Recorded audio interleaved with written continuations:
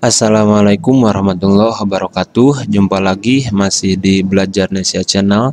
Kali ini masih membahas tentang banner jualan. Nanti tampilannya seperti ini yang akan kita bahas mulai dari awal hingga akhir. Insya Allah mudah-mudahan bisa berjalan lancar. Kita langsung pada pembahasannya.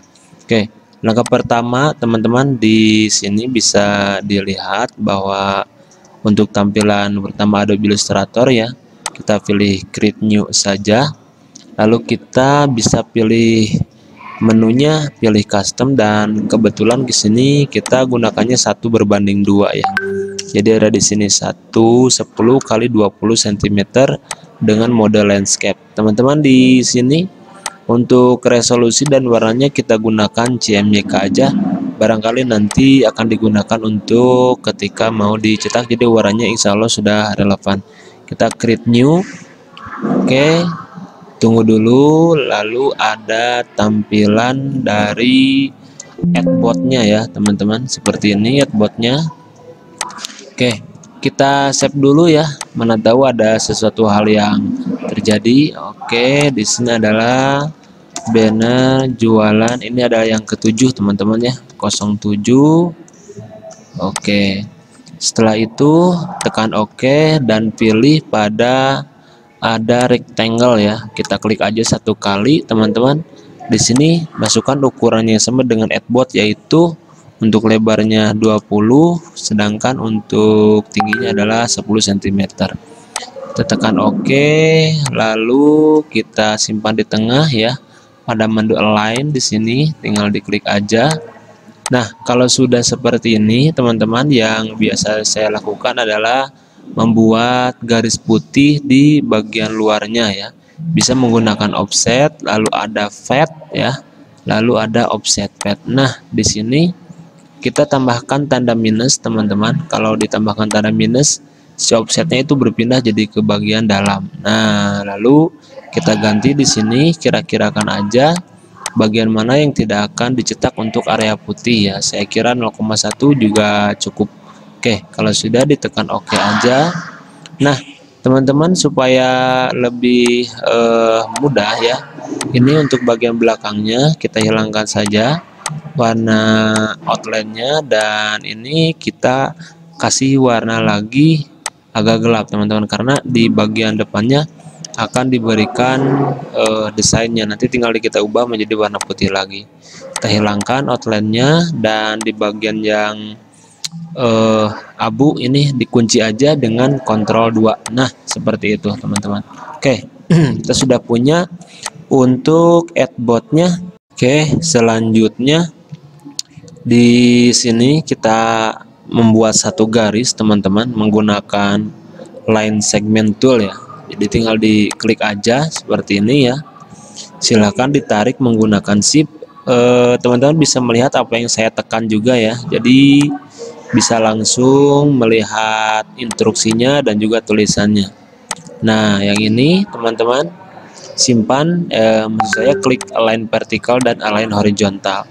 Setelah itu silahkan diputar ya seperti ini teman-teman boleh ditarik atau juga boleh digunakan rotasi. Nah, di sini ya, tekan R atau tool yang ada di sebelah kiri. Nah, diklik aja dua kali, teman-teman, seperti itu. Nah, ini ada derajatnya. Misalkan kita ingin masuknya 45 derajat. Nah, jadi seperti itu ya. Ke sebelah kiri berarti ya. Kalau ditambahkan minus berarti berubahnya menjadi ke sebelah kanan seperti itu kita ambil saja misalkan 30 oke kita preview. Ambilnya yang minus. Oh, iya seperti itu. Nah lalu kita tekan oke. Oke. Oke kita lanjutkan. Teman-teman di sini kita slow aja ya. Selanjutnya kita di copy dulu ya. Yang ini biar nanti kalau ada kesalahan kita lebih mudah teman-teman. Kita geser aja. Lalu kita hilangkan dengan kontrol 3 di bagian yang ini teman-teman setelah disimpan di tengah seperti ini kita bisa dengan membagi antara dua warna ini ya. Maksud saya dua bagian ini. Caranya diseleksi aja bisa menggunakan di bagian Fat Finder ya. Lalu di sini ada bagian divided. Oke, divide. Nah, diklik aja lalu di ungroup otomatis ini akan terbagi menjadi dua seperti itu. Oke.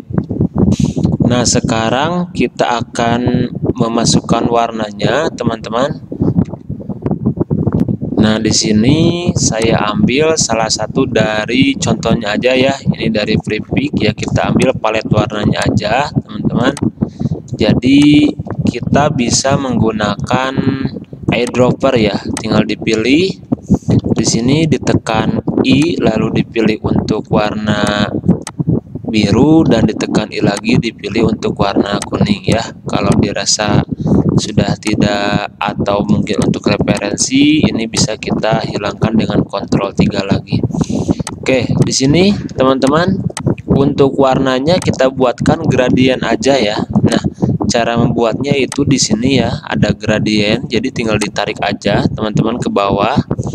Dibuang warna yang tidak diperlukan ya yang ini dibuang ini juga sama warna hitamnya dibuang oke Lalu di bagian tengah di sini kita geser teman-teman ke warna orange ya seperti ini.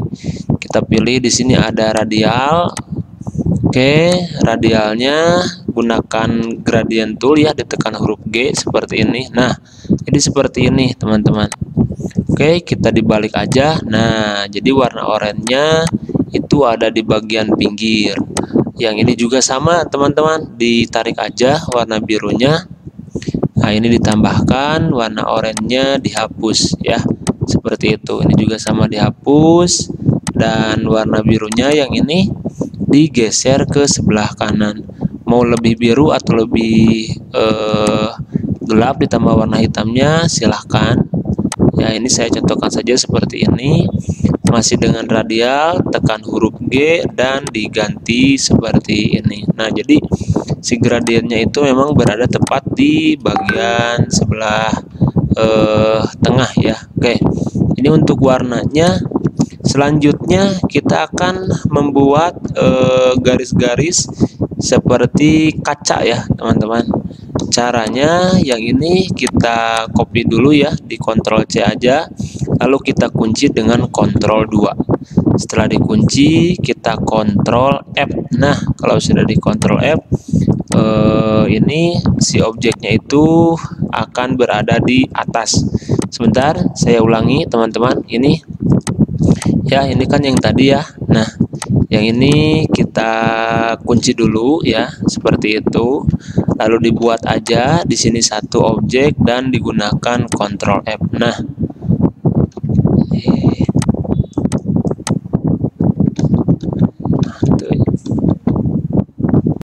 Oke, caranya teman-teman masih seperti yang tadi. Nah, sekarang di bagian belakangnya boleh kita ganti menjadi warna putih ya dengan menekan D dan di bagian outline-nya dihilangkan. Yang ini kita buang eh, maksud saya dikunci dulu. Lalu bagian depan yang ini teman-teman ya. Nah, yang ini di copy dulu ya. Caranya diseleksi aja dua kali seperti itu. Ctrl C dan dikunci Ctrl 2 lalu Ctrl F. Nah, sekarang kita sudah punya teman-teman dua objeknya.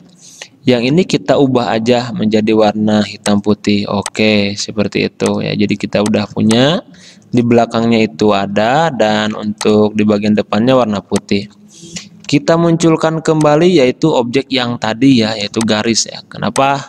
Ini eh, sudah saya sampaikan barangkali diperlukan lagi supaya kemiringannya tetap sama. Oke kita lanjut ya nah di bagiannya ini teman-teman boleh ditukar dulu karena di bagian belakang ini tidak akan bergerak ya.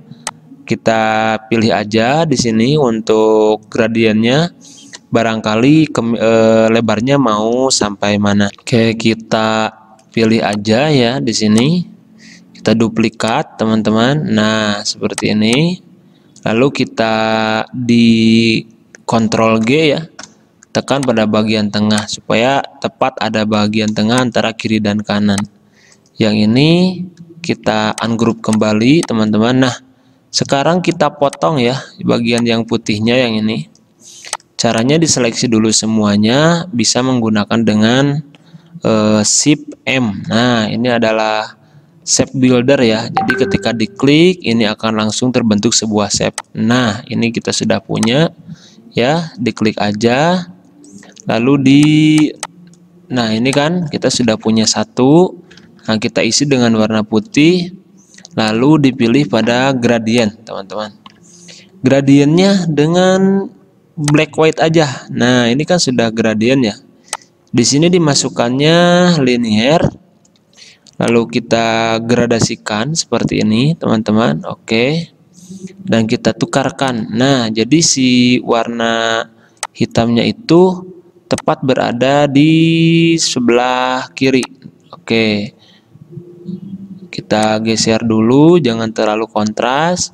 Warna putihnya juga sama seperti ini kira-kira masuk pada menu transparansi ya. Kalau tidak ada di sini ada di window transparansi bisa dipilih oleh teman-teman yaitu namanya adalah overlay ya. Kita coba saja salah satu bisa multiply. Nah, kalau misalkan mau warnanya agak gelap. Tapi kalau teman-teman mau lebih cerah bisa menggunakan dengan uh, screen ya atau overlay. Nah, ini uh, screen atau overlay. Nah, ini overlay maaf belum diklik teman-teman. Overlay atau screen. Oke, seperti itu teman-teman. Nah, kita pilih overlay saja ya.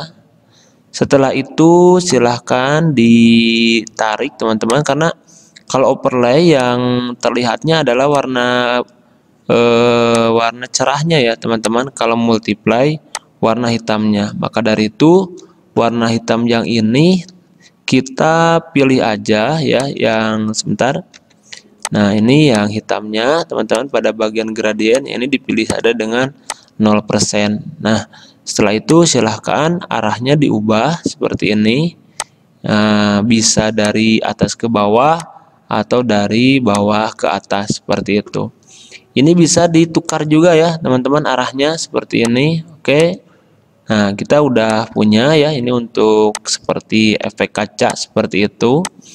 Lalu tinggal eh, yang lain boleh dihapus aja teman-teman ya. Karena nanti bisa di custom menggunakan eh, di sana ada direction tool ya.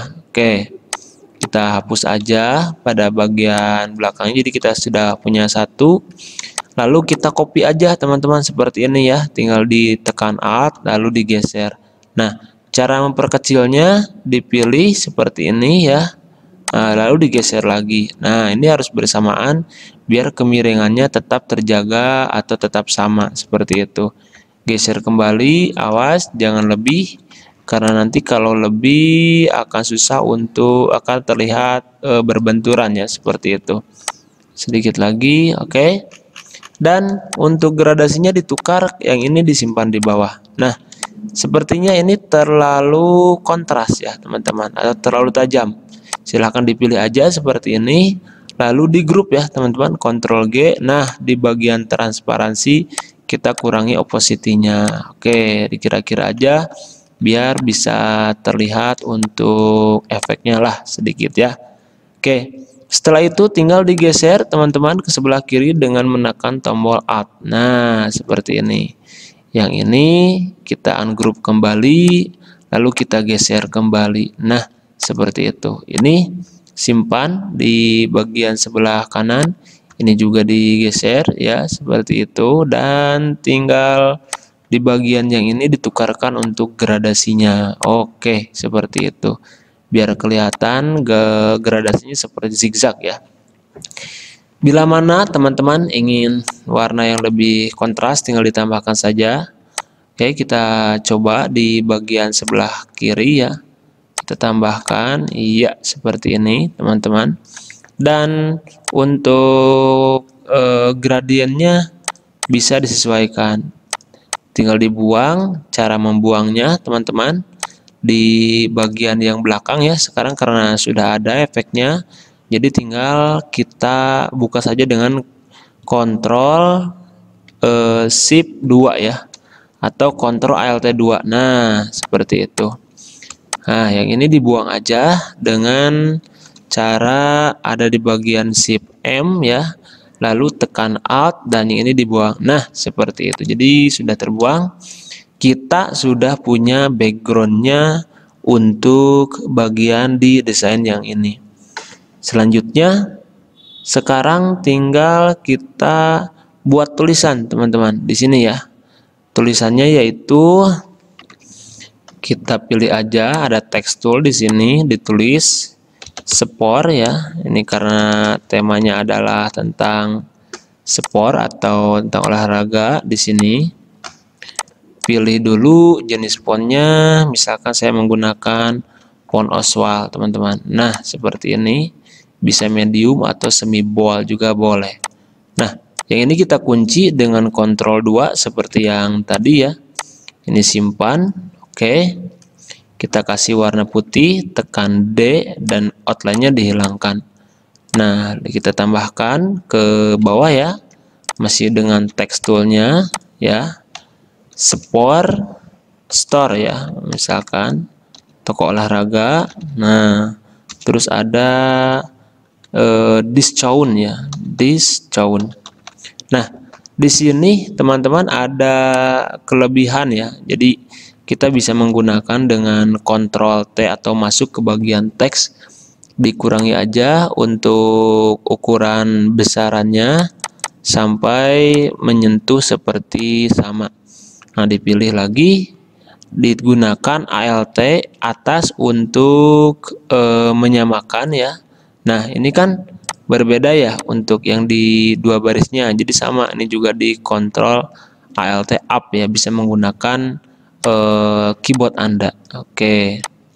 Seperti itu, lalu kita sepertinya ini kurang besar ya, teman-teman. Oke. Nah, ini sudah. Lalu kita tinggal disimpan di bagian tengah. Oke, sudah seperti ini tinggal ini kita miringkan dulu teman-teman jangan lupa di copy dulu barangkali nanti dibutuhkan lagi kita pada menu share tool ya. Menu share tool digeser aja seperti ini. Bisa dipilih ini titik gesernya. Nah jadi seperti ini teman-teman untuk dipilihnya ya. Boleh mau ke kiri ke kanan juga boleh atau mau ke kanan ke kiri juga boleh. Yang penting jangan terlalu distorsi ya. Oke. Ya kira-kira seperti ini. Nah ini tinggal disesuaikan aja dulu jangan terlalu besar nah setelah itu teman-teman kita masukkan tekstur ya. Jadi silahkan kita bisa mendownload di sini untuk teksturnya. Saya ambil dari unflash.com teman-teman. Nah ini tinggal kita rotasikan dengan huruf R ya. Oke kita lanjutkan teman-teman di sini teksturnya sudah ada ya. Jadi tekstur yang ini kita perkecil aja dulu. Nah kalau sudah kita masuk pada menu transparansi dan ada multiply. Nah otomatis teman-teman teksturnya ini menjadi masuk ke dalam desain di bagian belakang.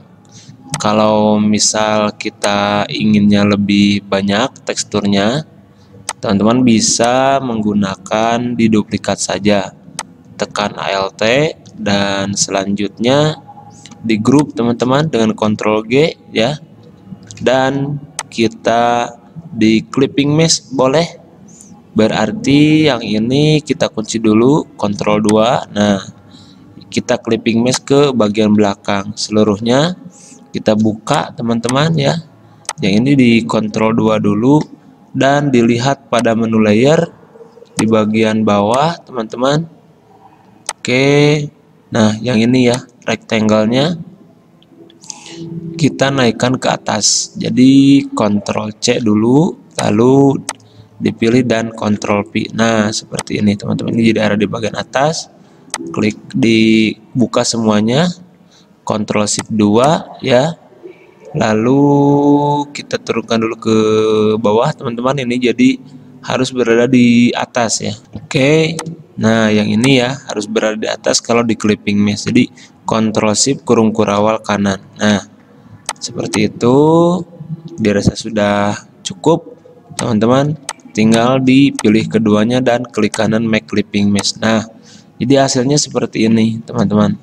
Untuk uh, objeknya itu sudah ada di bagian belakang, teksturnya masuk ke dalam desain atau shape yang ada di belakang. Kalau sudah, kita kunci aja dengan Ctrl 2 Oke kita lanjut ke dalam pemasukan model teman-teman. Oke saya sudah siapkan untuk modelnya. Diupayakan sudah dalam bentuk PNG ya teman-teman jadi biar lebih mudah. Nah seperti ini. Oke.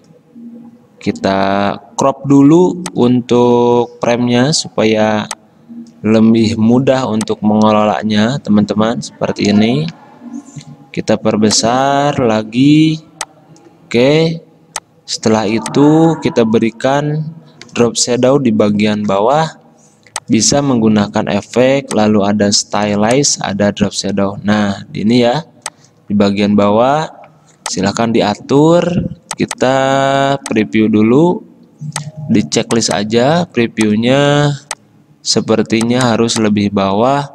Dan untuk opposite-nya kita kurangi saja 50 sampai 30 oke. Nah seperti jadi tidak terlalu kontras teman-teman termasuk blurnya juga tidak terlalu kontras maksud saya tidak terlalu besar ya oke Nah, kira-kira seperti ini.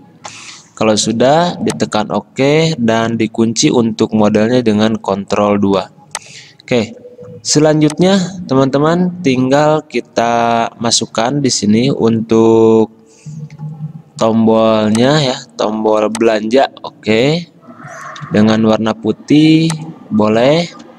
Nah, kita tulis aja dulu di bagian tengahnya yaitu shop now ya atau belanja sekarang. Boleh juga dengan order now. Nah, di sini saya menggunakan font Oswald aja, teman-teman.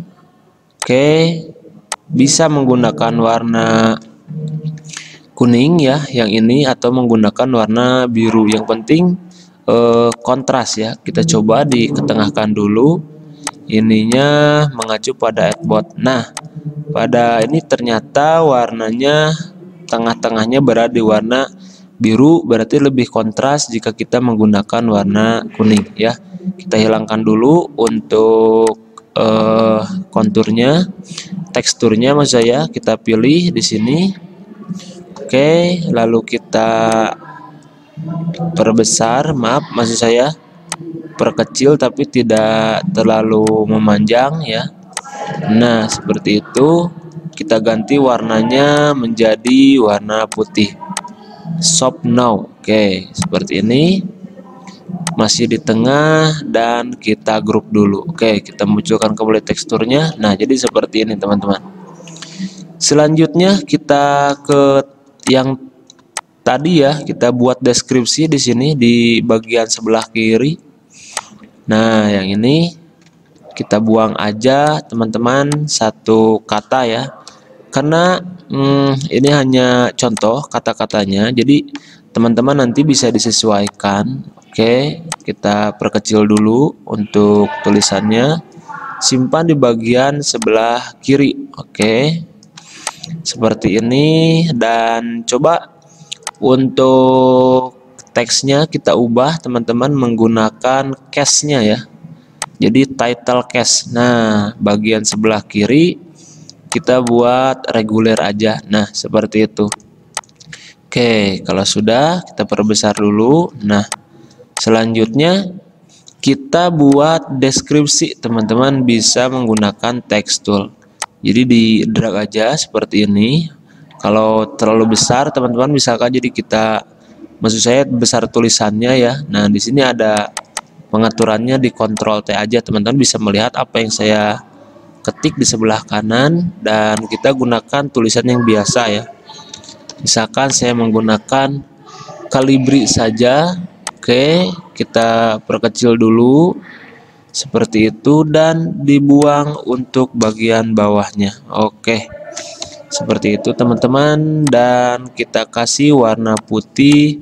Nah, ini jadi untuk eh, deskripsinya. Oke. Nah, boleh warna putih atau warna hitam juga boleh. Nah, warna hitam sepertinya lebih kontras ya teman-teman yang penting tulisannya bisa terbaca oke oke tinggal di bagian belakangnya teman-teman belakang sepatu. Ini kita buatkan untuk hmm, modelnya misalkan atau kelebihan atau fiturnya ya. Nah di sini misalkan model atau fitur juga boleh teman-teman ya. Supaya tidak terlalu sama kita bisa menggunakan bagian teks yang lain ya atau menggunakan font yang lain.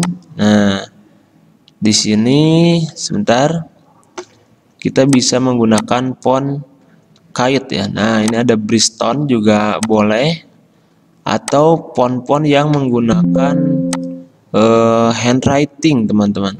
Nah, di sini di kontrol T dulu ya. Bisa dicek atau dilihat untuk jenis fontnya yang tetap tulisannya itu ada dua ya. Di sini ada Constellar Script. Saya biasanya menggunakan Bristol teman-teman atau Rogue Strip juga boleh, Satisfy juga boleh. Nah, ini nah kita masukkan tiga buah lingkaran teman-teman untuk fitur yang terteranya ya. Kita copy juga untuk deskripsinya di sini dengan menekan ALT nah yang ini kita buang sebagian teman-teman.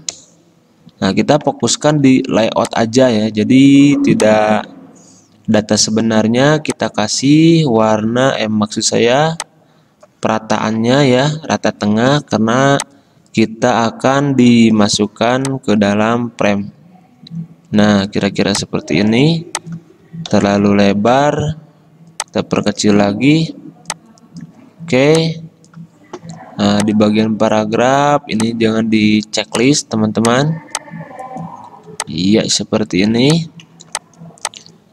Oke, sepertinya masih terlalu besar. Kita perkecil lagi. Ya, cukup. Perkecil dulu. Nah, ini tinggal di duplikat teman-teman ya. Dengan kontrol D. Nah, seperti itu. Kalau sudah diduplikat, itu tinggal mengikuti saja. Nah, jadi tinggal kita diperkecil. Ini untuk tulisannya Nah, ini barangkali kalau memang terlihat terlalu lebar framenya, tinggal kita perkecil saja supaya gambarnya atau tulisannya tidak masuk di dalam frame yang di bagian pojok. Oke. Nah, ini ya. Kita grup dulu, ini juga sama di grup.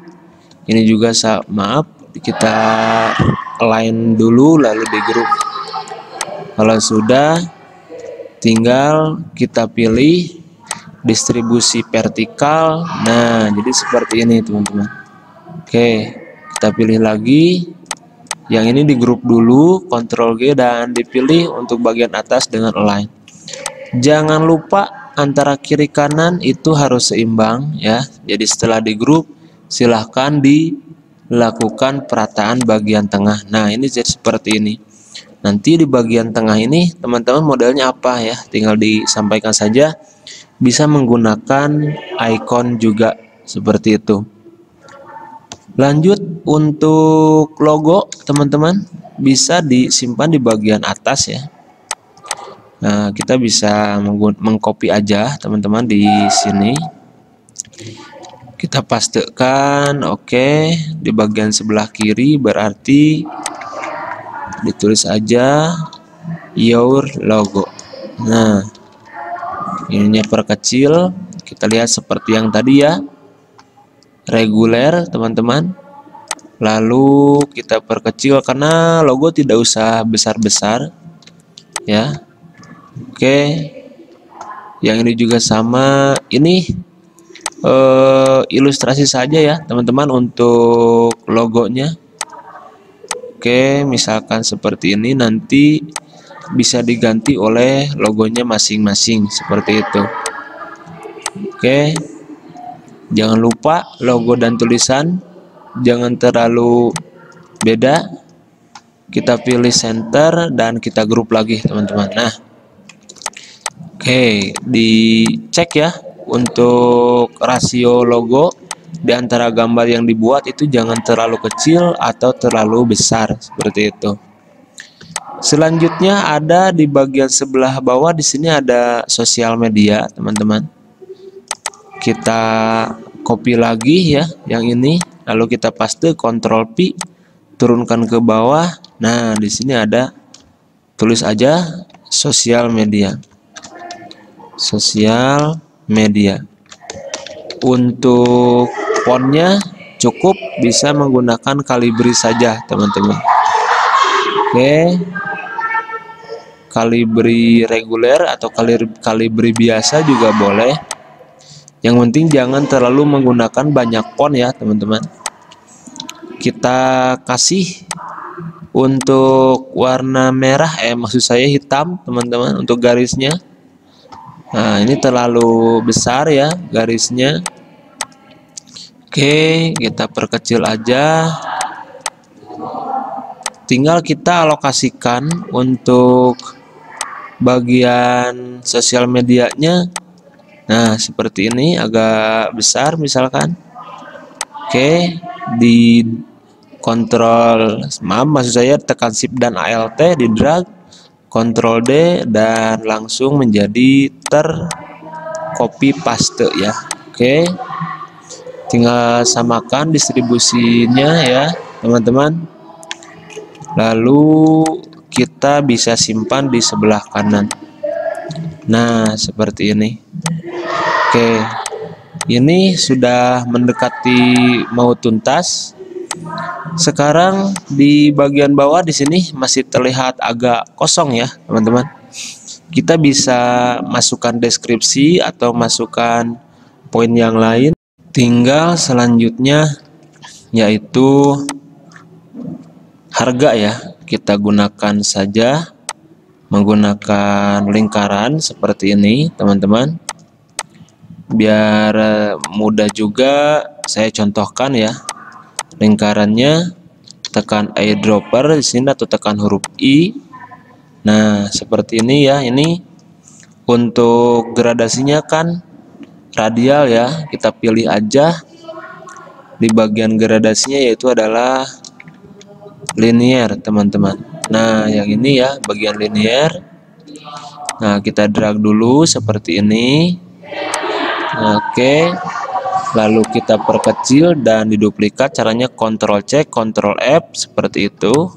Nah, yang ini lalu dipilih eh, radial, teman-teman. Hanya di bagian radialnya itu kita diposisikan di salah satu titik saja. Nah, jadi digeser seperti ini, teman-teman.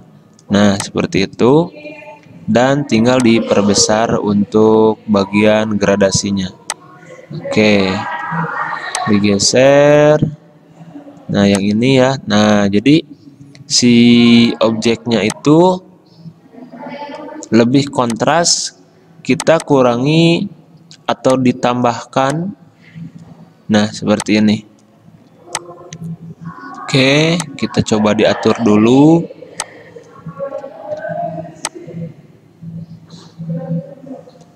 Oke disempitkan aja. Nah, kalau sudah teman-teman tinggal dimasukkan untuk teksnya ya. Misalkan yang ini aja di copy teman-teman Ctrl C, dipilih yang ini lalu Ctrl F. Nah, digeser aja.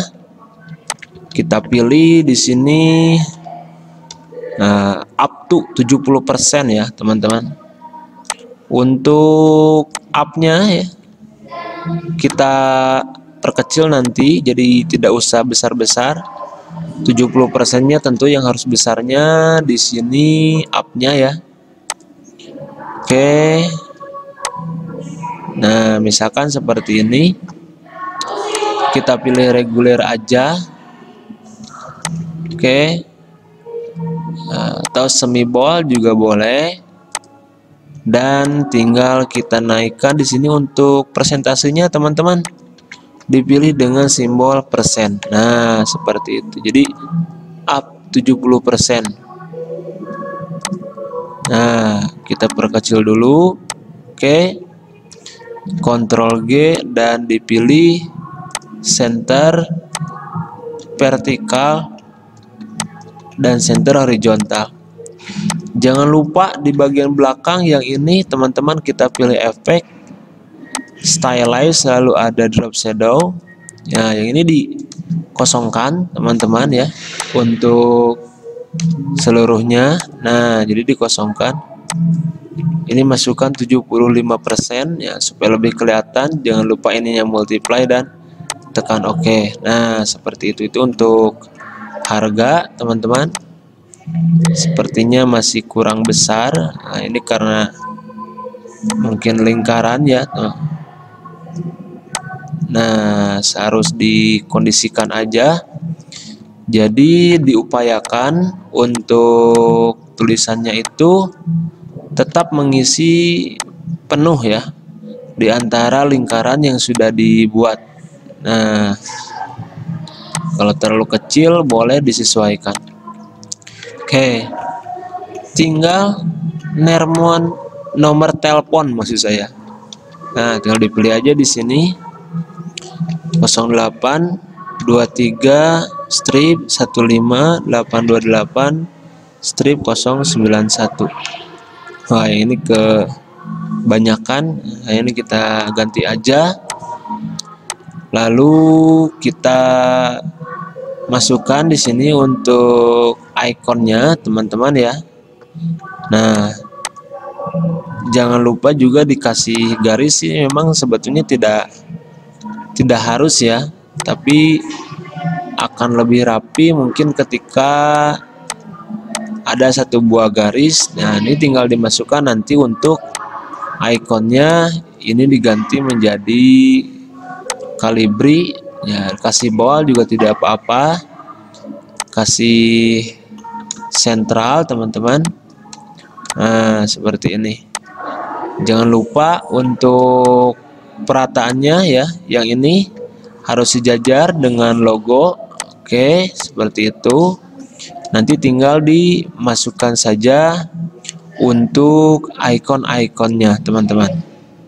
Oke sisanya tinggal teman-teman dilengkapi saja untuk hal-hal icon dan mengganti logonya ya. Jadi tinggal memasukkan tinggal mengganti saja. Ini kita tidak dibahas di dalam uh, video ini ya karena akan terlalu lama. Kita fokus pada layout dan cara pembuatannya saja oke mungkin itu dulu teman-teman untuk tutorial kali ini. Terima kasih sudah menonton. Salam belajar Nesia channel